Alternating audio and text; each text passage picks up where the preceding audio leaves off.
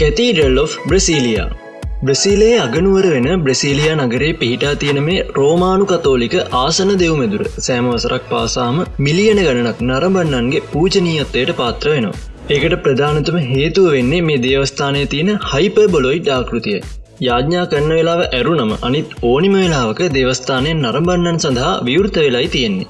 එදදාස්නාසේ පනස් අටේ ඉදිකිරීම් ආරම්භ කල්ලා වසර දෙකකදි වැඩ අවසන්කරුම් මේ දේවස්ථානයේ නිර්මාණකරුව වෙන්නේ ඔස්කානීමය. කන්‍යා මරියතුමිය වෙනුවෙන් කැපකල්ල තියෙන මේ පල්ලිය බ්‍රසීලියානුවන්නන් සලගන්නේ එරට පල්ලි අතර රැජින විදියට. දැත් සර්ගයට ගමන් කරන්න අර්ථය සහිත හයිපබොලික් හැඩයක් ඇති කොංක්‍රීට් තීරු දාසයකින් තමයි මේ පල්ලිය ප්‍රධානාකෘතිය ඇදිලතින්. වහලේ වීදුරුවලින් නිමව ඇති අතරම අරගීපු කොංක්‍රීට් තීරුවල පරතරවලට නිල්සා සුදු පැහැති වීදුරුව දාගෙන තියෙන නිසා සෑමයිටම ස්වභාවිකාලෝකයක් පල්ලිය තුළට ලැබෙනවා. ජේසුස් කිස්තුස් වහන්සේ කුරුසේ යනගැසීමෙන් අනතුරුව උන්වහන්සේගේ දේහය ආවරණය වුණ කුඩා ලිනන් රෙදි ගැබෙල්ල දේවස්ථානය ගුහාව තුළ තියෙන බවටත් අන්තර්ජාලය තොරතුරු සඳහන්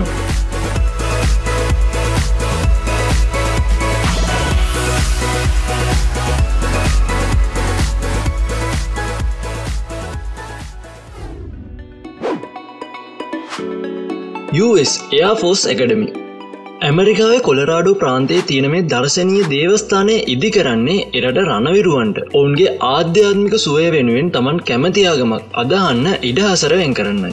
කතෝලික බෞද්ධ සහ යුදෙව්වාගම් සඳහා වෙනවෙනම කාමරත් ඒ සියලුවාගම් අධානයට වෙනම දැනකුත් වගේම ඒ සඳහා වෙනවෙනම පිවිසුම් බලාගන්න හම්බෙනවා. වානේසා වීදුරුවලින් බාහිර පෙනුම සකස් කරල තියෙන මේ දේවස්ථානය වඩාත් සුවසේසී අංගය වෙන්න එක පෙළට තියෙන කොත් එහමත් නැත්තම් මුදුන් දාහතයි මීට එකසේ පනක් උසින් පිහිට ඇතිමේ දේවස්ථානය ප්‍රධාන පිවිසුම රත්රන් ඇනෝඩීකරණය කරපු ඇලුමිනියම් දුරගින් සමන්විත වෙනවා. එදදාස්නාසේ පනස් නමේ ඉදන් අවුරුදු තුනක් යනකං ඉදිකිරීම් කටයුතු සිදු කරපු මේ අපූරු දේවස්ථානය නිර්මාණකරුව වෙන්නේ වෝල්ට නෙච් කියන ගෘහ නිර්මාණ ශිල්පිය.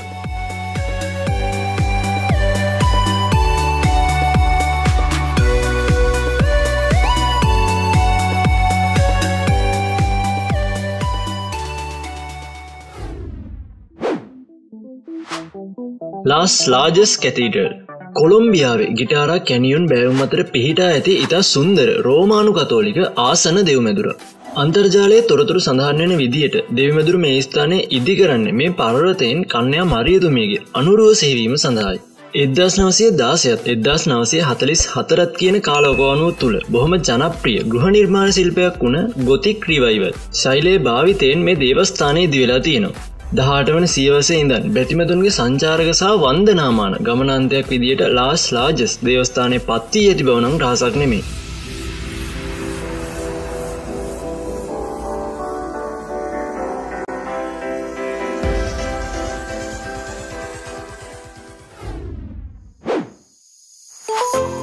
හෝල් ග්‍රම්ස් කා කියා මීටර් හැත්ත තුනක උසකින් යුතු අයිස්ලන්තයේ විශාලතම දේවස්ථානයමේ එරට බාසල්ට් ලාවා ගැලීමක් නිරූපණය වන අයුරින් නිර්මාණය කර ඇතිමේ දේවස්ථානයේ මධ්‍යයේ ඇති කුළුණ එහි ප්‍රධානංගයක් බවට පත්වන බවටයි වාර්තාවෙන්න. අයිස්ලන්තේ ජනප්‍රිය කවියෙක් වුණ හල්ග්‍රිමූන් පෙටර්සන් වෙනුවෙන් මේ දේවස්ථානය කැපකර ඇති බවත් සඳහන් වෙනවා. ඉදිකිරීම් එදස් නවසේ හතලිස් පහේ ආරම්භුණ අතරම එදස් නවසේ අසූ හයේදි වැඩ අවසන් කරලා. බැතිමතුන්ගේ වන්දනාමාන සඳහා විවෘතවන මේ දේවස්ථානයේ අභ්‍යන්තරය සාම්ප්‍රදායික ලූතරන් මෝස්තරවලින් අලංකාර වෙලා තියෙනවා. සංචාරකින්ට විදුරි සෝපානය භාවිතයෙන් දේවස්ථානය ඉහලට ගමන් කරන්න පුළුවන් වගේම ඒ විදියට දේවස්ථානය නිරීක්ෂණ කුළුණක් විදිරත් යොදාගන්න පුළුවන්. ඒ විතරක් නෙමේ නෝස් ගවේසකයෙක් වුණ ලිප් එරික්සන්ගේ ප්‍රතිමාවක් දේවස්ථානය ඉදිරිපිට නිර්මාණය කර ඇති බව ඔබටත් පේනව ඇති.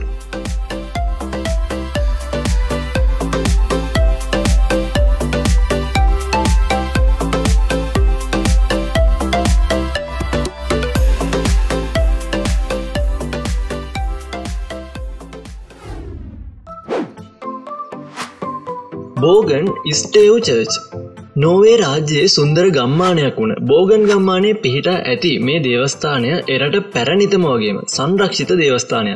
ස්ටේව් කියන මේ අපූරු නම හම්බෙන්නේ දේවස්ථානය බිත්ති බැඳල තියෙන සෛලයේ නිසා වන අතරම බිත්තිවලට යොදාගෙන තියෙන ලෑලි ස්ටේව් ලෙසින් හැඳින්නෙනවා.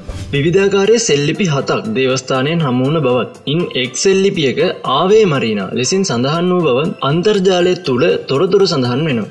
මෑතක ඉඳන් මේ ස්ටේව් දේවස්ථානයට ගෝලී වටිනාගමක් හම්බෙලා තියෙනවා වගේම මේ වෙද්දී එරට වැදගත්ම ස්මාර්ගයක් වගේම කෞතුකාගාරයක් ලෙසත් ලෝකේම ගෞරවාදරයට පාත්‍ර වෙනවා. ඉතා ශක්තිමත් ගල් අත්තිවාරමක් මත ඉදිවෙලා තියෙන නිසා තවත් බොහෝ කාලයක් මේ දේවස්ථානය වැජබෙනව කියන එක නම් නොනුමානක්.